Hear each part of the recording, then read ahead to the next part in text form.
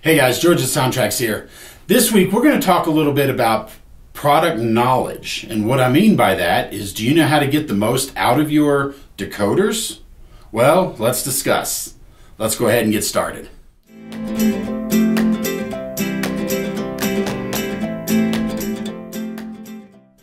Now, over the years, there's been many, many, many different DCC systems that have been released, and all of them do things just a little bit differently depending on how you push the buttons. They're all essentially trying to create the same DCC signal. So when it comes to DCC, the standard is the signal that's actually on the track. The DCC systems then depend on how to generate that command. And then our decoders listen to the command and we determine how to respond to that command. Now, for many of you guys, over the years, we've done these webinar series, and webinar four will kind of break down the DCC signal and how it works. For example, the DCC command may be as simple as, hey, everybody, listen up. Loco 3504, move forward, speed step 10, turn on F0, turn on F1, turn on F4. Well, it's up to the system manufacturers to determine how to create that command to tell the decoder what to do.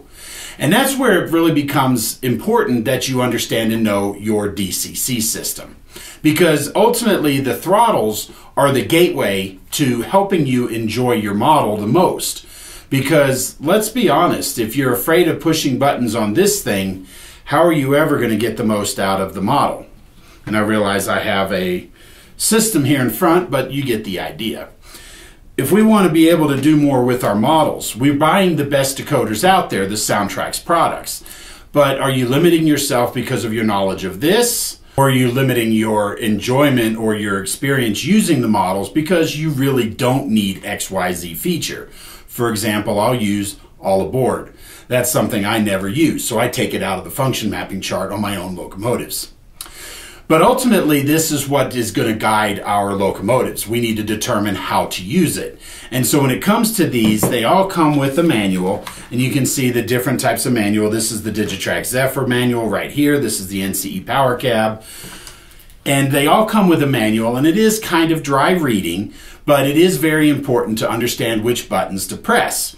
Because, like, for example, if I want to program an address, I don't want to just randomly start pushing buttons on here because if I don't understand how this works, I very well could cause problems when it comes to programming, especially if you're doing programming uh, on the power cab because it uses the main line as a full powered programming track.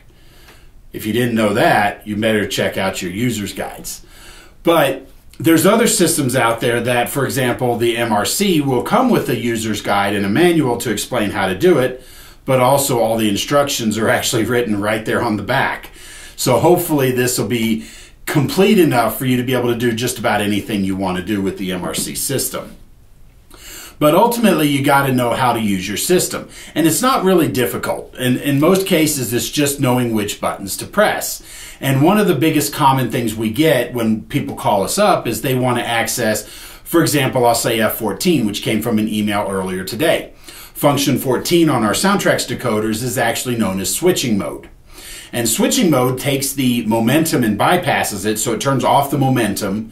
And then it also takes your commanded speed, which is how fast your system is telling your decoder to go, and then cuts that into one half. So that that way you can spot your cars directly at the industry, or you can do your coupling and so forth of your locomotives and your freight cars in the yard, aka switching mode. But if you don't know how to access function 14 using your system, that may be a feature that you decide to leave out because you don't know how to use your system. And on the power cab and the pro cabs, it's as simple as pressing and holding the shift and the zero key. Now, obviously, I can't show it to you here, so I'll show you a screenshot. But what you see in the window is F0 through F14, and that's telling you that the 0 key is now 10, the 1 key is 11, the 2 key is 12, the 4 key is 14, the 6 key is 16, and the 9 key is now 19. Now, if you push and hold the shift and 0 a second time, you'll see F20 to 28 in the window, and that's telling you that the F or the 0 key is now function 20, the 1 key is 21, the 4 key is 24, and so on. So that's a key differentiator because this Digitrax system is a little bit differently because you're going to push the function button and the one key and in your window, you're going to see Func plus 10, and that's telling you that now the one, the zero key is 10, the one key is 11, the two key is 12, and so on. So you press the Func and the two key. Now you're going to see Func plus 20, and that's going to give you the 20 functions that are higher up. And MRC has their own way of doing it as well. So each one of these systems, you kind of need to know how to access that. Now, the user's guides, of course, will explain a lot of that and how to access that. Now, for more information to get to all of that, if you actually go to our YouTube channel, which you're watching this on right now, and you search Soundtraxx webinar number four, as I mentioned, webinar four will teach you all about DCC. Webinar 6 will teach you all about CV programming, the different modes of programming, how the CV bits are structured, and so forth. And then Webinar 9 will actually take these three systems that are here in front of me, the NCE, the Digitrax, and the MRC, and it will actually show you step by step which buttons to press and how to access all of that. Because, like I said, ultimately, this is the gateway. This is what's going to get you to being able to use all of the features of our decoders. And the idea behind this is that we want to help you enjoy your hobby because if you're intimidated by these things here, then you may find yourself limiting your enjoyment or limiting certain ways that you run your trains. But if you actually understand how everything works and you know it, now it doesn't become quite as intimidating. Now it actually feels kind of natural now that um, that you understand it and now you think to yourself wow look at all these cool features i've been ignoring before because I didn't know how to use these. Now, there's other systems out there, for example, Java Model Railroad Interface or the JMRI. Now, the JMRI has a couple of things called Decoder Pro, and then there's the Operations Pro, and there's different packets in there. But today we're going to talk primarily about the Decoder Pro because this is one of the most common calls that we get. Somebody is using a JMRI and they're trying to get a particular feature on the decoder to work, but it's not working. So they call us up and they ask, and I wish I had a dollar for every time I had the call. Hey, I'm trying to get XYZ to work. I'm using Decoder Pro. Can you help? Well, the short answer is, is we don't actually write the JMRI Decoder Pro software. That's done by a group of dedicated volunteers, and they do a fantastic job, but they don't work for us. They're doing this on their own volunteer time. So inevitably, there's going to be possible mistakes that are thrown in there. And the best part about it is that when you know the decoder and you understand the DCC system, you can fix those mistakes. Because if you go in and it's not doing what you expect it to, then you read our user's guide that will tell you in detail how the feature works and how the settings are. Then you use your DCC system to program the CVs directly. Then you get it working the way you want. You can always read back into JMRI and find out what changed or what was different. And it may be something as simple as you misunderstood their explanations. It could be they misunderstood our explanations and had it do something different. When you're checkboxing certain things, it's not doing what you want it to do. Or it could be they were in left field and completely missed the mark. But the good news is, is they are a very good responsive group of people. So if you find a mistake like that, be sure to send them the information and they will get it fixed. One thing I will tell you, just from a personal standpoint, is I quit using JMRI years ago, long before I donned the purple shirt. And the reason was was because in that particular instance, this was the original tsunamis, and I was trying to get the function mapping checkboxes to work. And every time I read through it, the checkboxes were marked proper, but my decoder wasn't behaving the way I wanted it to. So I got frustrated and grabbed the Soundtraxx user's guide, read it, set the CVs properly, and lo and behold, sure enough, my decoder worked the way it wanted to when I read it back, suddenly all the same things were checked, which meant it wasn't doing what I thought it was doing. So it's just one of those pitfalls to beware that that's not necessarily something wrong with the decoder because we didn't write the JMRI software.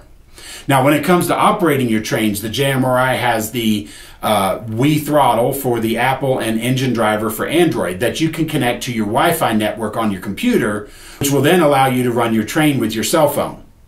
Now, there's a few limitations on the engine driver. You can only select local addresses and you can't program any CVs. So when it comes to building advanced consists and things like that, you'll have to do that ahead of time. For more on advanced consists, check out webinar 14. But you have to have built that prior to using your throttle on your phone. So that's one of the limitations, but it does work. The other thing is you can't do anything else on your phone. Your engine driver or your WiThrottle has to be on the top screen because as soon as you go out to do something like answer a call or take a photograph of your train, for example, the engine driver or the WiThrottle will stop your train because obviously you're not paying attention to the throttle. So that's just one of those things that you may have to understand and learn. Now, the one thing I will say about the Blunami, now our Blunami is a DCC decoder at heart, so it will work with every single one of these systems, including the engine driver and the WiThrottle. However, the advantage to the Blunami app that you would use and download that's free to your device is you can talk directly to the decoder. So let's say, for example, if you use NCE at home, but the club has Digitrax. Well, now you're not frustrated because you're having to learn all the buttons on two different systems. Your decoder is going to work the same way whether you're using NCE or Digitrax, provided you're using the Blunami app. Now, if you want to run your Blunami with your Tsunami 2, then you would use your DCC system. And again, this is where learning your DCC system and the ins and outs of all of this really will help you a long way because it's not difficult, and we're here to help you. If you get stuck or have questions about Soundtraxx products and how to use them, we're happy to help you every step of the way because ultimately we want you to enjoy your hobby. What I really mean is our hobby because we all enjoy this wonderful hobby and there's so many different facets of it. And you may not be an electrical engineer, but the good news is, is you don't necessarily need to be an electrical engineer. You just need to be able to do simple math when it comes to programming CVs through your DCC systems. But understanding which buttons to press to create whatever you want it to do is going to be ultimately the key. Now, again, this is here to encourage you guys. We're here to help you, but also, like I said, Webinar 9 will teach you the major three different DCC systems so that that way you can get a feel for what it takes to run your locomotives on your layout depending on what your system is. Now obviously we couldn't do a educational video for every single DCC system that's out there. So if you do have one of the others that are not the major 3 here in the United States, then you'll want to check out their users guides and read through it after watching webinar 4 and webinar 6 because then that way you'll be able to see how these decoders are how the systems work to talk to the decoders because ultimately the decoder is only doing what it's told by the DCC system. So if you're limiting yourself because you don't know how to use this, then you can never get the full benefits of the decoders you're buying. Guys, I hope this has been helpful for you. Again, it's meant to encourage you and to uh, challenge you to go out and learn a little bit more about it. Um, take a few minutes because you may find that unlocks a lot of fun that you can be having with your railroads. With that, we'll sign off for the day. We appreciate it. If you have any comments, please leave them in the in the comment section below. Be sure to like our videos and subscribe to our channel where you can get great content just like this. That's it, guys. Thanks for watching. We'll see you next time.